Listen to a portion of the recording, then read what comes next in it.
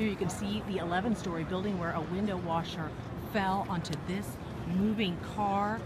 Police say the window washer is in critical but stable condition. The driver of the car unhurt. Pedestrians tell me they had to move out of the way for their own safety. Keep it tuned to kron4.com for updates. Maureen Kelly, KRON 4 News.